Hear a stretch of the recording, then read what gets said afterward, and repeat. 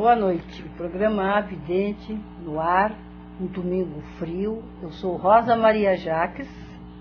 Olá, boa noite. Sou João Toqueto. Mais um domingo aqui no nosso programa, o programa Avidente, todos os domingos às 22 horas aqui na AltV. O programa Avidente procura falar da sua sensibilidade, da sua intuição, dos seus, dos, das, dos seus momentos de percepção. Queria agra agradecer ao Mike Brasil, nosso amigo que sempre nos, nos, nos anuncia. Um grande abraço, Mike. Já deve estar passando bem naqueles re restaurantes todos que ele, que ele mostra aqui. Né? E também lembrar que depois do nosso programa tem o nosso amigo Tiago com o programa Hora 13. Isso mesmo. Estamos aqui, obrigado pelo pessoal do chat, pela presença.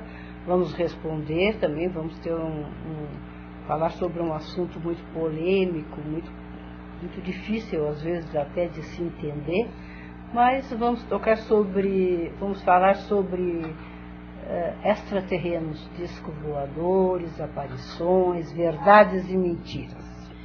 É, esse assunto, né, Rosa, é, sempre, sempre perguntam muito para a gente, a gente tem muito cuidado e atenção em, em, tocar nesse assunto, porque é um assunto que é, tem muita fantasia e tem muita manipulação e é complicado né, a gente, a gente é, é, é tocar nesse assunto assim, é, quer dizer, para nós é uma coisa, não é complicado, é muito tranquilo tocar nisso porque é, a nossa visão é, é, uma visão muito séria, objetiva e também o nosso núcleo lá na Universidade de Brasília também tem um núcleo de, de estudos, né, Rosa? Estudos sobre ufologia. Eles trabalham em cima de dados, de pesquisas. Então eles têm um, um eles ficaram três ou quatro anos formando, organizando os dados para depois lançar o site. Então é uma coisa muito séria e nós vamos falar sobre isso. Até assim, é... Tiago, você consegue colocar aí no ar, por favor, é o site www.nefp, N de navio, E de escola, F de faca, P de paranormalidade, .unb.br.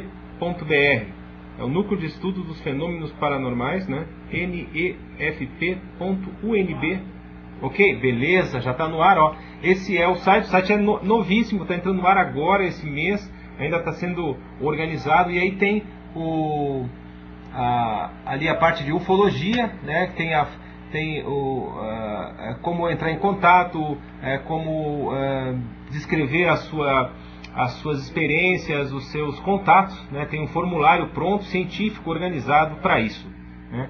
Então, eles, na nossa época, em 92, eles faziam muita pesquisa de campo. Eu lembro que eles faziam muitas pesquisas, iam nos lugares, analisavam, era muito interessante. Tanto é que eles ficaram uns três ou quatro anos pesquisando. Só catalogando livros. Catalogando tudo sobre ufologia. Então, você pode participar do programa Avidente, né? É, mandando sua pergunta pelo chat. Já tem vários internautas, nossos amigos aqui? Sua, suas perguntas pelo chat, que a Rosa vai usar a evidência, né? É, respondendo as, as suas perguntas. E também, se você tiver um caso de paranormalidade, uma experiência, uma casa mal assombrada, agora a gente está começando a fazer externas e, fazendo, e fazer gravações né, para. É, a gente quer de, é, é, desvendar o caso, conversar e ver com o paranormal o que está acontecendo e até ajudar a pessoa, né, Rosa? É, ajudar, porque toda casa onde, tirando os fantasmas, onde há um fenômeno de pegar fogo, de movimentar coisas, é uma pessoa que tem a sensibilidade mas está desorganizada emocionalmente, está com, ou por problemas emocionais, ou por, por falta de aceitação de si próprio ou da família.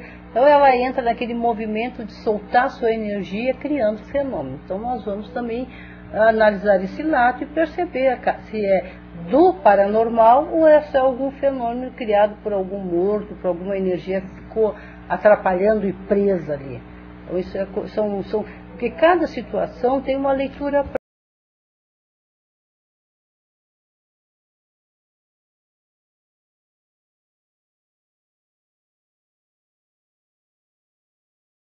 casa com aquelas pessoas.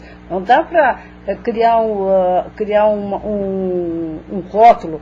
Toda vez que tu movimentar, ver uma, uma cadeira se movimentar, é isso. Isso não existe. Então, toda vez, quer dizer, usa a percepção para que perceba a, a causa que deu o efeito.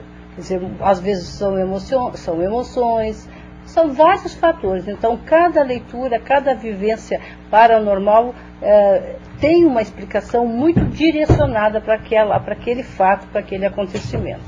Vamos lá, João. Sim, eu queria, então, se você tiver um caso, tiver alguma experiência que queira contar sobre é, paranormalidade, é, você pode mandar um e-mail para avidente.altv.com.br avidente.altv.com.br né?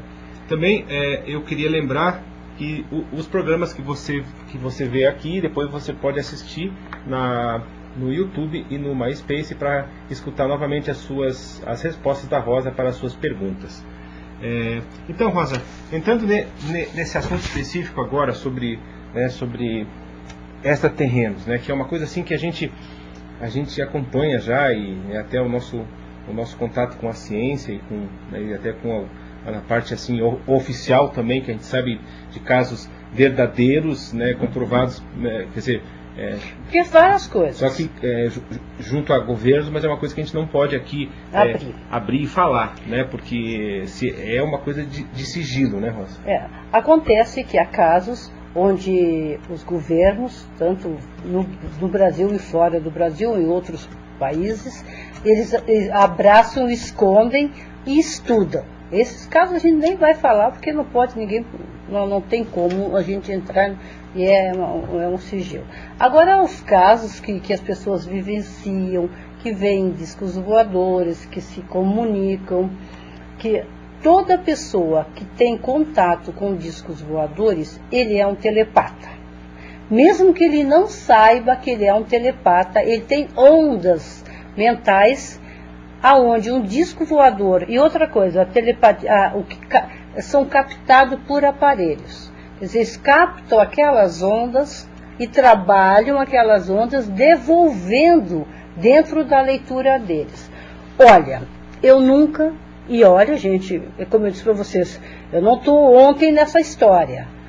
Eu nunca vi um, um, um extraterreno é, ser totalmente do bem.